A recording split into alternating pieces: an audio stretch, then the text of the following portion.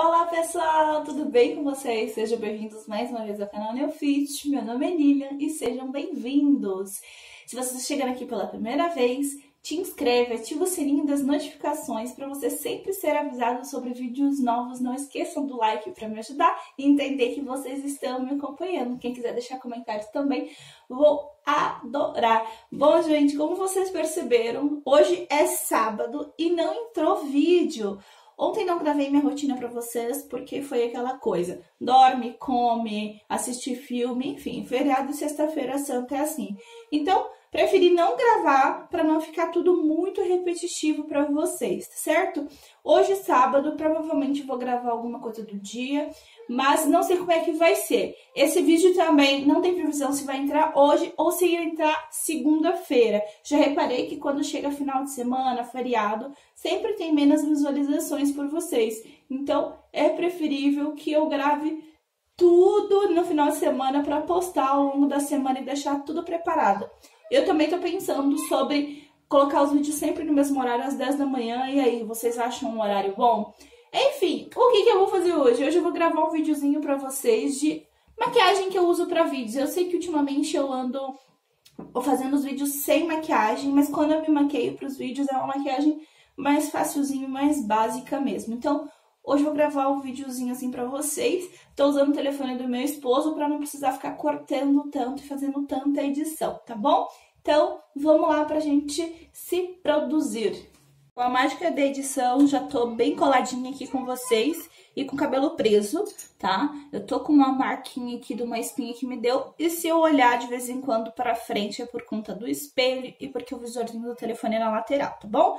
Vou começar aqui preenchendo a sobrancelha. Minhas sobrancelhas estão enormes, mas estou aproveitando a quarentena para deixar crescer para fazer um bom design. Se vocês ouvirem criança chorando, é minha filha. Bom, vou usar um pincelzinho chanfrado e eu vou preencher com uma sombrinha mesmo, não vou preencher com pasta, tá bom? E eu vou preenchendo embaixo e em cima todas as falhinhas da minha sobrancelha. Bom, eu, como é telefone, vou tentar de vez em quando dar uma olhadinha para ver se tá pegando o ângulo bem certinho para vocês. E eu coloquei uma luz artificial aqui no banheiro para vocês enxergarem melhor o que eu estou fazendo. Ah, por que, que eu não tô gravando no meu espaço de make? Porque maquiagem do dia a dia, gente, geralmente eu, gravo, eu faço aqui mesmo no banheiro, não faço lá no espaço onde eu trabalho, não.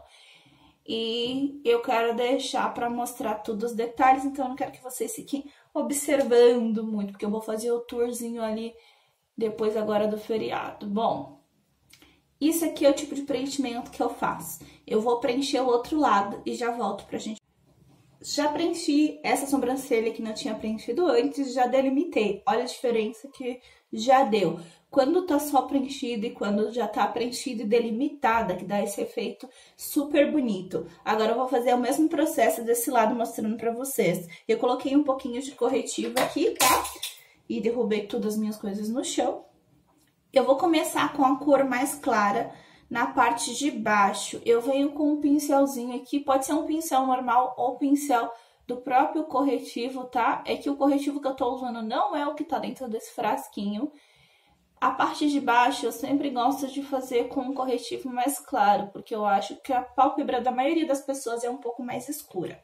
Apliquei o corretivo na parte de baixo, eu vou pegar uma esponja estilo queijinho, uma esponja macia que você tenha, e eu vou arrastar para baixo esse corretivo, espalhando por toda a pálpebra para não ficar o efeito branco. A gente só quer que clareie essa região aqui e deixe esse efeito bem riscadinho da sobrancelha, bem desenhado. Eu gosto muito desse efeito. Até pro dia a dia acho bonito, mas eu confesso para vocês que eu não tenho paciência de fazer isso todos os dias. E eu tô fazendo mais assim porque minha sobrancelha tá bem grande. Então, o corretivo, de certa forma, ele esconde essas pequenas cabelinhos, sabe, que vão crescendo. Agora, na parte de cima, para facilitar depois no meu trabalho, eu vou fazer com um corretivo mais da cor da minha pele, que é o segundo aqui. Porque senão depois, na hora de passar a base, eu vou ter um trabalhinho ali, um perigo de borrar, tá? Quando eu vou usar sombra escura, até tenho o trabalho de fazer com uma cor mais clara. Mas hoje é uma maquiagem mais básica, então a gente quer facilidade. A mesma coisa que eu fiz embaixo, eu vou fazer em cima. contornando a sobrancelha. Eu vou fazer aqui no finalzinho porque ficou mal feito e às vezes a gente quer ficar que fique mais aparente. Às vezes não, a gente quer que fique mais aparente, tá? Então eu vou contornar bem direitinho assim, com bastante cuidado para ficar bem desenhada a sobrancelha, tá? É bem simples, ó. Agora a gente volta com a esponja queijinho e puxa pra cima, tá vendo? Que tá a cor mais da minha pele na parte de cima, então essa é a intenção. Vamos espalhando e puxando pra cima. Tá uma barulheira aqui no prédio, gente, porque é final de semana e tá todo mundo em casa. Então, me desculpem pelos ruídos externos. Próximo passo, eu vou pegar uma esponja com pó e vou selar aqui dentro, porque eu não vou fazer nada de sombra. No meu dia a dia, make para vídeo, eu não uso sombra, tá? Eu faço mais o básico mesmo.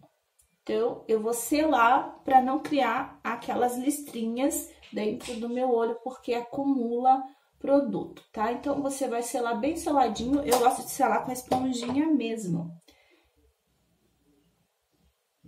E agora a gente vai para a parte que a maior parte das pessoas temem, que é o delineador. Eu vou usar um delineador em gel, tá? E eu vou até mostrar a marca, não vou focar muito em marca, mas eu vou mostrar a marca desse delineador, porque eu tô fazendo ele de uso pessoal meu e eu tô gostando bastante, que é esse aqui da, acho que é Miss Lari Pro. Muito bom, bem pretinho e fosco. Vou fazer aqui junto com vocês, pegar o pincel, deixa eu só limpar o pincel. Pincelzinho que eu vou usar é esse aqui tortinho, tá? Eu gosto porque ele é mais anatômico pra gente fazer. Eu pinguei umas gotinhas de diluidor aqui dentro, porque delineador em gel, eles secam bem rapidinho, pra ficar mais fácil pra gente espalhar também. Então, eu vou vir aqui...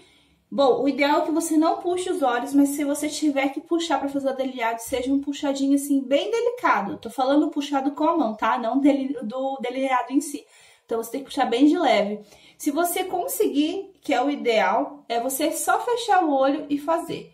Eu começo fazendo do meio pro final, tá? Então, a gente vem aqui traçando, ó. O diluidor ajuda o delineador deslizar com mais facilidade nos olhos, tá? Sempre do meio pro final. Sempre não, né, gente? Não existe muito uma regra para delineador. É conforme tu vai te adaptando. Passar bem próximo aqui da raiz do, das, dos cílios. E agora eu vou puxar o gatinho, tá? Então, a gente vem aqui, ó. Delicadeza, que eu não tenho muita. e vamos puxar. Tem que ter delicadeza, gente.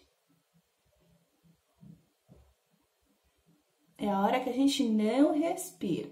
E aí, com o olho aberto, eu vou Ó, isso. E agora a gente vai preenchendo o resto do olho. Tudo com cuidado. Delineado é assim, gente. Nem sempre eu também acerto, mesmo trabalhando com isso, nem sempre sai do jeito que a gente planeja. Vou botar o potinho aqui para facilitar. E aí a gente faz aquele puxadinho delicadinho aqui, ó. Tem que cuidar, porque quando a gente puxa os olhos, o delineado fica fininho, quando volta o olho ele fica mais grosso. Então, tem que fazer um traço bem fininho. Pra não ficar estranho quando você soltar, por isso que não pode puxar muito, ó. É isso. Agora eu vou fazer o delineado do outro lado, pra gente não ficar aqui três horas delineado pronto nos dois olhos. Próximo passo, vamos iniciar a pele. Agora eu vou passar um pouquinho de primer. Esse meu primer, ele é transparente, tá? Ele é mais que um, mais parecido com um olhinho, tá? Você precisa higienizar bem a pele antes de iniciar a maquiagem, hidratar.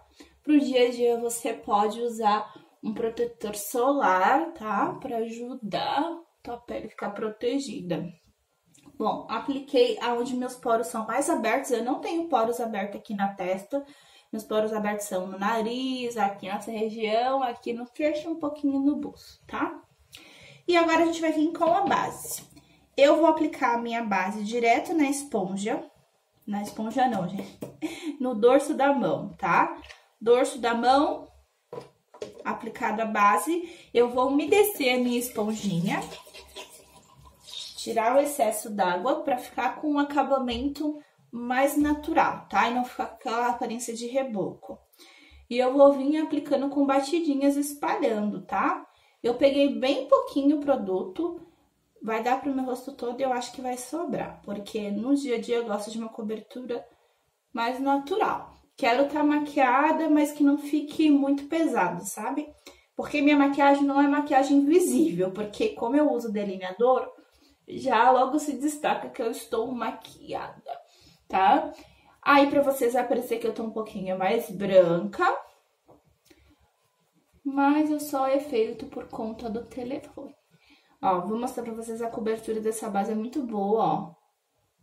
Tá vendo? A marquinha que tava ali, ó. A minha pinta, ela não esconde, porque, como eu falei, é uma base de, de média cobertura, ó. Mas ela disfarça, mas que nem a manchinha que eu tava ali de espinha, desapareceu. Vou terminar de aplicar. Para os vídeos, eu nem sempre uso corretivo, mas eu vou aproveitar que sobrou um pouquinho aqui, tá? Para colocar. Geralmente eu só uso corretivo quando minha olheira tá muito aparente ou tô com um olhar muito cansado. Eu não sei como é que tá a imagem para vocês, é que o celular do meu esposo, ele esbranquiça um pouco a imagem, tá? Então eu vou pegar o corretivo que tá aqui e vou passar nos pontos de iluminação que a gente costuma mais usar, tá? Que é embaixo dos olhos aqui, que é para trazer um pouco mais de luz para essa região.